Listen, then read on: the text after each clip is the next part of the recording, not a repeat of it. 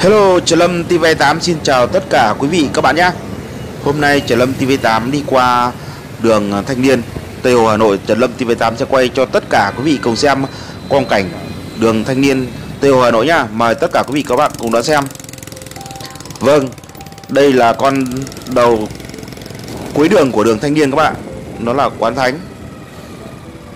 Cuối đường Thanh Niên nó là đường Quán Thánh các bác nhé. Đường Quán Thánh và Thị Khuê.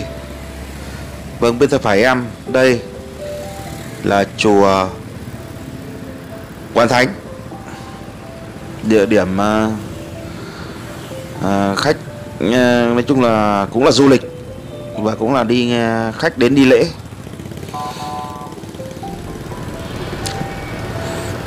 Thì mời tất cả các bạn cùng đón Đi theo chân em. Đây là cuối đường thanh niên các bác nhé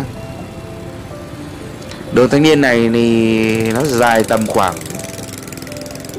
500 mét thôi các bạn Nửa cây số thôi. Nhưng mà nó là điểm du lịch Có nổi tiếng và chất lượng. Ai cũng muốn đến đây để chụp ảnh check in. Vì con đường thanh niên này là nó nằm giữa hai hồ. Đó là hồ Trúc Bạch và hồ Tây. Đấy, các bác xem à, có đẹp không? Đấy, phía bên tay phải em. Đó là hồ Trúc Bạch.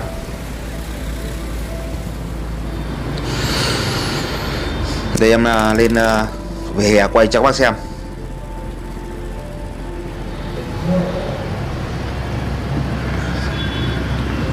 Đấy, trước mắt các bác đó là hồ Trúc Bạch các bạn.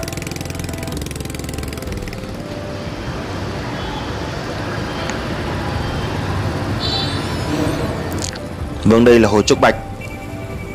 Còn à, trước mắt các bác đó là nhà cho chuyên cho thuê thuyền đạp vịt. Đây hồ Trúc Bạch à, cũng, cũng rộng đây các bạn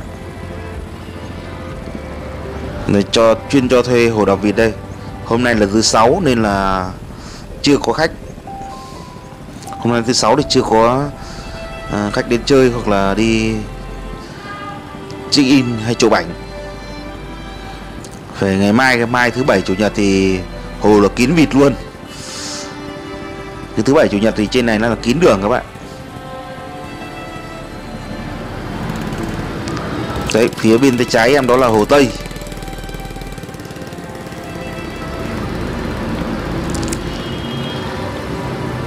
Đây là đường thanh niên nhé thanh niên tây hồ, hà nội. Địa điểm à, check in chụp ảnh cũng như là du lịch quá nổi tiếng đấy. Quá đẹp. Thoáng mát. Vì con đường này nó nằm giữa hai hai hồ các bạn. Mùa hè lên đây là rất mát. Nên mời các bác cùng theo chân em. Đây bên tay trái là cô bán bò bía đấy. Đấy các bác eh, thấy cảnh đẹp, Thấy video hay thì cho em một like. Một đăng ký kênh. Và nhớ bình luận ở dưới video Để cho kênh của em càng ngày phát triển. Từ giờ trở đi thì em sẽ quay cho tất cả các bác xem Đường phố Hà Nội, Những địa điểm mà đẹp Nhất để cho các bác à, cùng à, tham quan Trên màn hình nhỏ nhá. Cái đường thanh niên này, nó chỉ dài rơi vào tầm khoảng 500 mét thôi các bạn. Nửa cây số thôi. Nhưng đây là hồ Trúc Bạch đây. Đây là cũng có mấy thuyền vịt đang đạp giữa hồ đây các bác.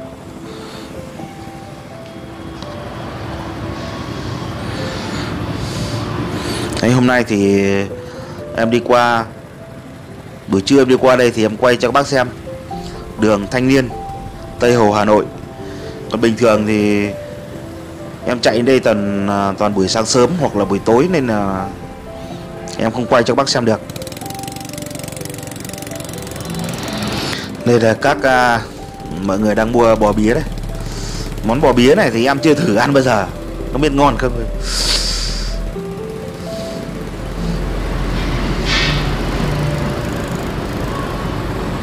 thì các bác xem mà đường thanh niên có đẹp không? Thẳng đường thanh niên thì đầu đường thanh niên bên kia nó là đường à, nghi tàm yên phụ. Mà vì treo trước em đã quay cho bác xem. Để đường rẽ vào thanh niên đấy còn cuối đường thanh niên nó là đường à, thụy khuê và đường quan thánh.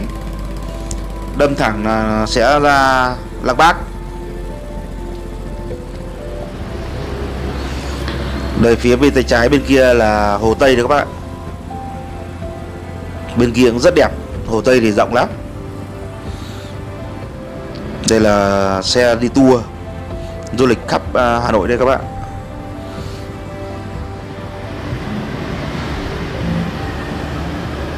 Đấy các bác xem là đường thanh niên có đẹp không? Đẹp thì cho em một like, Một đăng ký kênh nhá. Để ủng hộ kênh cho em càng ngày càng phát triển.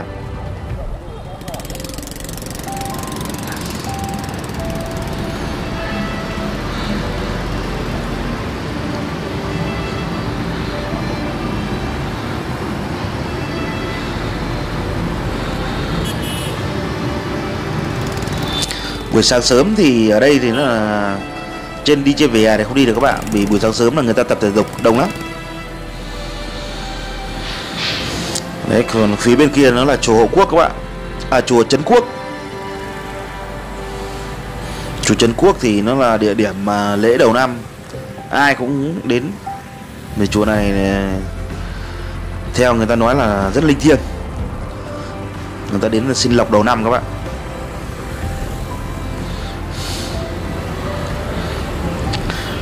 Địa điểm cũng là địa điểm du lịch ấy. đầu năm ai đến đây. Nói chung là khách thập phương khắp nơi. Để các bác xem nào. Mùa hè đến đây thì quá mát các bạn. Đường đây là hồ trúc bạch các bác nhé.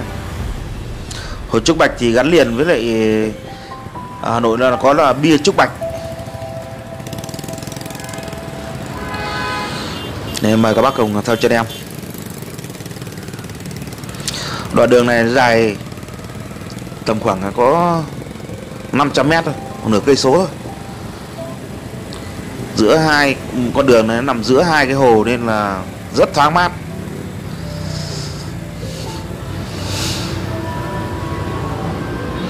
Vâng đây, bên tay phải em đó là kem Hồ Tây đây các bác. Địa điểm mà không ai đi lên đây cũng phải ăn kem. Bất kể là mùa đông hay mùa hè. Vâng đây là kem Hồ Tây đây.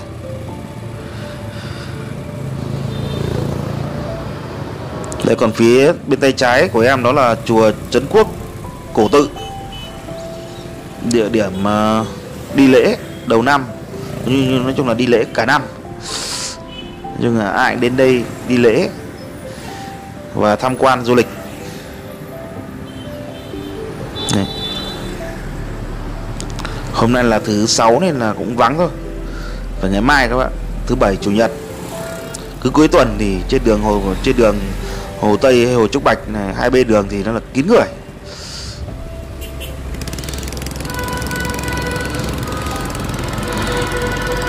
Nếu các bác xem có thấy có đẹp không?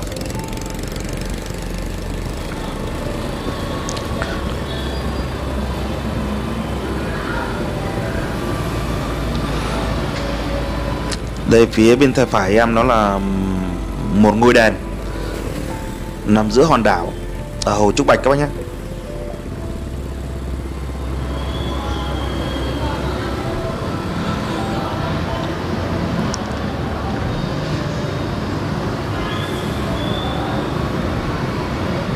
Đây là đèn thủy trung tiên. Đây, các bác à, cũng đang câu đây.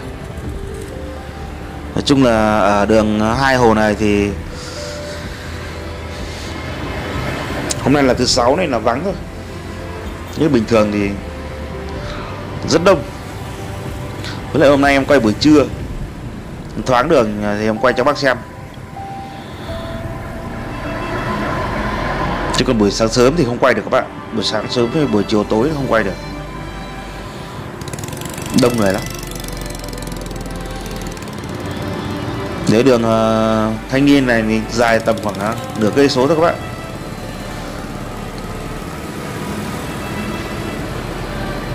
Nếu như các bác uh, muốn uh, đến tham quan Hồ Tây thì chắc chắn là các bác sẽ biết con đường thanh niên ngay. Nói chung lên đây là cảnh đẹp là rất đẹp. Rất thoáng mát.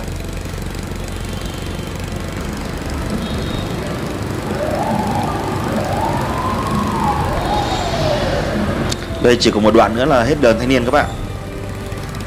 Và đây là đầu đường thanh niên nhé để nói vào là vào trung tâm của thành phố thì nó đây là đầu đường thanh niên. Nằm giữa hai con đường, nó là yên phụ và nghi giảm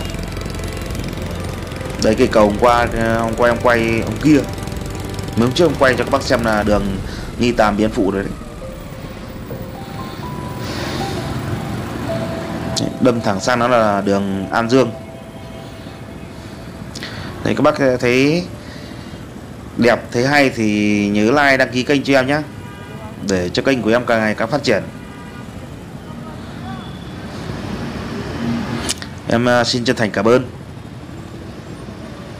để rồi giờ từ giờ đi thì em à, chỗ nào Hà Nội đẹp, cảnh đẹp thì em sẽ quay cho tất cả các bác cùng xem. Cùng du lịch trên màn hình nhỏ của em nhá, kênh của em.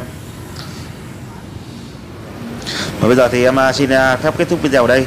Hẹn gặp lại tất cả quý vị vào video kế tiếp. Quý vị xem kênh, nhớ like, đăng ký kênh, chia sẻ, ủng hộ kênh cho em nhé em xin chào tất cả quý vị các bạn. Xin chào.